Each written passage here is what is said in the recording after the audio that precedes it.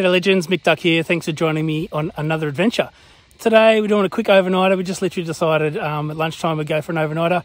We're here in the Ku-ring-gai National Park and surprise, surprise, the only real place you can camp overnight is at a secret spot called the Basin. So let's go check it out.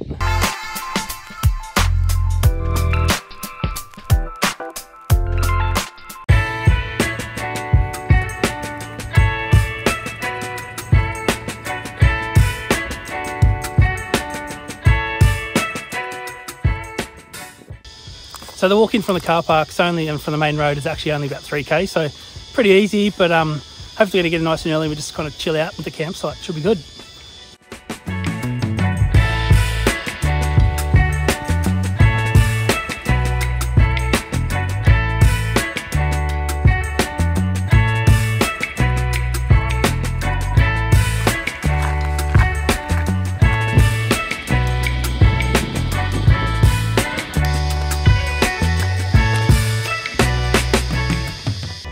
The walk's pretty cruisy. Um, we're just kind of heading downhill now. Um, as you can see, it's kind of paved. I'll give you a good close up, uh, but I guess that's for because it's quite steep for uh, the RFS Rural, Rural Fire Service to kind of get in and out if they need to, and I guess we're servicing the campground as well. So, but um, should be there pretty shortly. Stick around to the end where I give you my thoughts on the campground and the whole experience overall.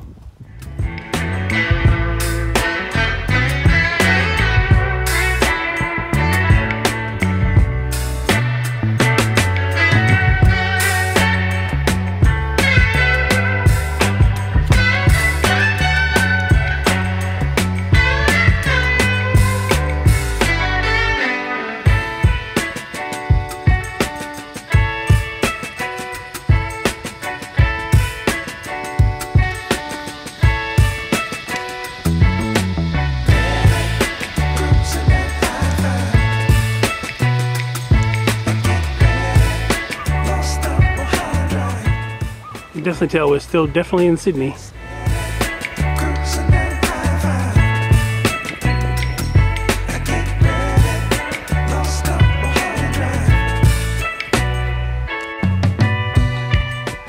can see here it's pretty busy, but there's heaps of campsites. A lot of people do come in on the ferry across from Palm Beach. But, you know, I recommend that you do walking. It's way better.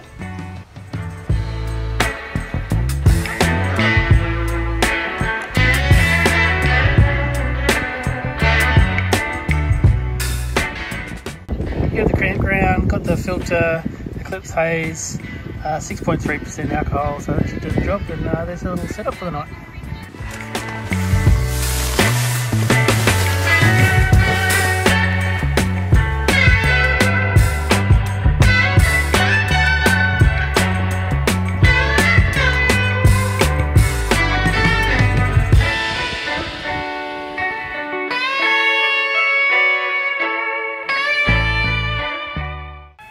Well, good morning. Had a pretty good sleep. Uh, decided to go for a bit of a fish, have a little look around at the basin, and uh, yeah, it's been pretty great a little adventure. Just all packed up, about to head up the hill now, back up to the car. Got to get up this hill here, all the way back to the car. 3Ks. Let's do it.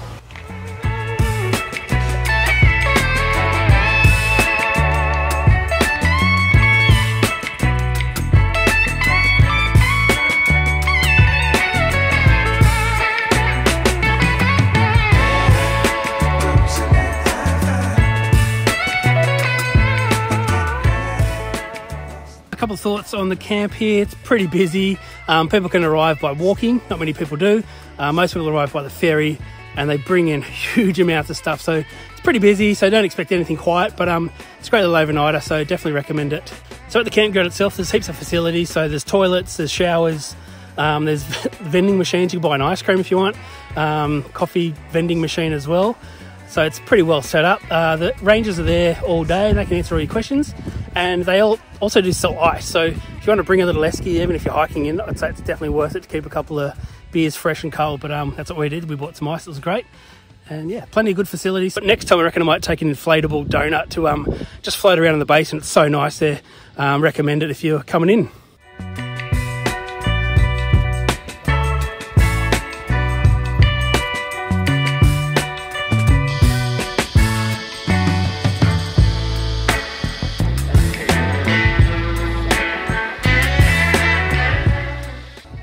One thing that's happened on this adventure is Lauren's found not only one kookaburra feather, but two. I've been searching for ages to get a kookaburra feather for my Akubra, um, but Lauren's found two. Check out these two. Hopefully, I'm really nice, she might give me one to put my cap too.